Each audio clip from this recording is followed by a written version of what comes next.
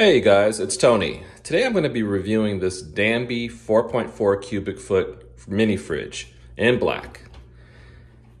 This mini fridge is really nice. So as you can see, opening it up, it has lots of space, okay? The cooler compressor is on the back side of the wall, so, and it's the full length. The advantage of that is that you've got even cooling.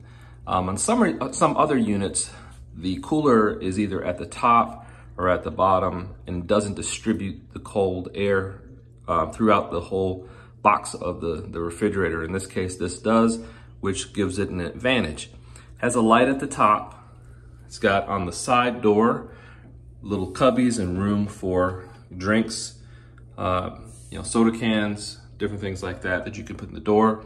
And on this one, it even has a little egg holder. So this is perfect for just a studio apartment or a dorm room or something like that, where you want a little bit more utility, an office even. Um, you want a mini fridge that you can hold quite a bit in, but not take up a whole lot of space. So I recommend this highly, and I hope you found this review to be helpful.